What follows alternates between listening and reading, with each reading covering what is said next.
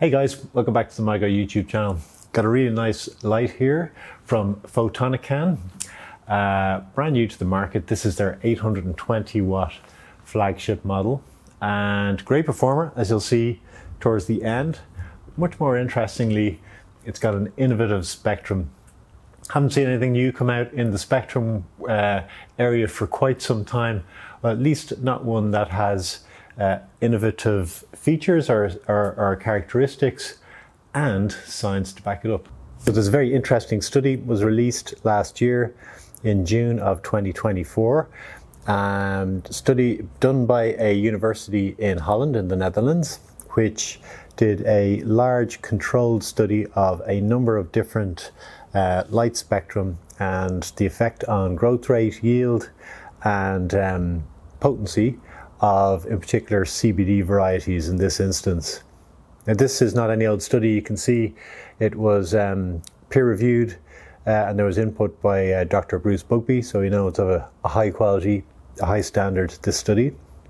And they used over 128 plants, eight different chambers, uh, two different uh, power intensities, 600 and 1200. And then they did extensive tests on the harvest itself using uh, using gas chromatography to analyze the um, the samples of the harvest and determine you know cannabinoids, terpenoids, etc.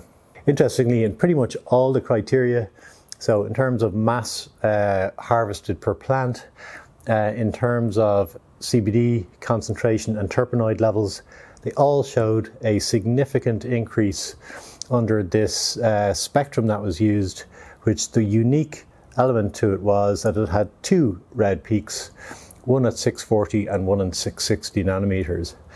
Um, it's not, uh, they don't state what the reason for this is, although there's some theory behind it.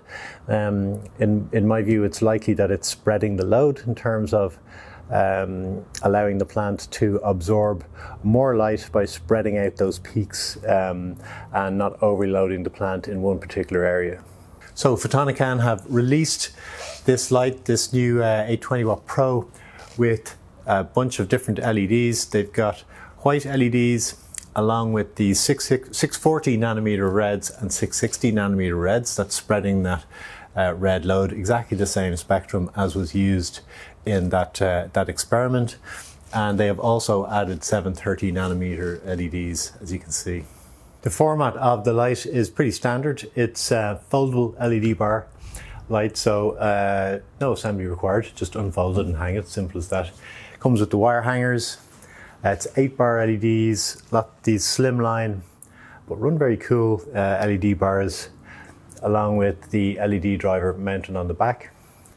Front of the driver, you got your manual dimming knob here to adjust up and down in uh, increments of 20% and of course you've got your RJ connections there so you can run it uh, either daisy chain units together or uh, run them from an external controller. In terms of performance then and price, um, as I said, it's an 820 watt uh, fixture, pulls just a little bit more from that from the wall, 826 watts, and it's suited for a 5x5. Put it in at two different hang heights, First at uh, 18 inches hang height at 30 centimeters, and this gives the maximum amount of power. Not the most even spread, but uh, very good high level of 970 micromoles average, and system efficiency. That's the amount of light reaching the plant canopy divided by the power uh, of 2.64, and that's right up there now. It's a really high performance light. Yeah, if you want a little bit more even spread, hang at 18 inches or 45 centimeters and you get an average of 927 micromoles or 2.52 system efficiency and that's just only down 4% but as you can see gives a much more uniform spread. Um, lights available online purchase it directly. Um, current price is $699 for an 820 watt light which is pretty damn good.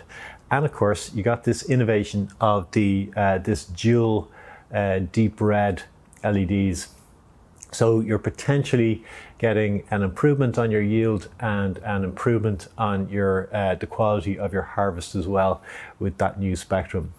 I'd be very interested to hear if anybody has seen this spectrum out before, anybody is using it, and um, how they find it. Very interesting paper to me. Um, I'm going to have a deeper look into this phenomenon and uh, see what else I can find out. But in the meantime, congratulations to Photonican on uh, pulling this out of the bag so quickly after that paper was out. It's Pretty impressive. And um, yeah, hope you enjoyed. It. Take care. Links below if you want to check out the uh, the light directly. Thanks.